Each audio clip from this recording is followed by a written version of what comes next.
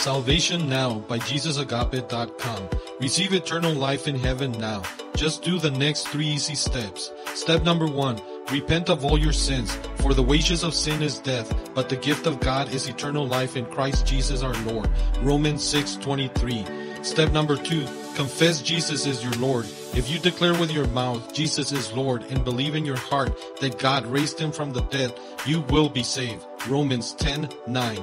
And step number 3, have faith in God in Jesus. For God so loved the world that he gave his one and only son that whoever believes in him shall not perish but have eternal life.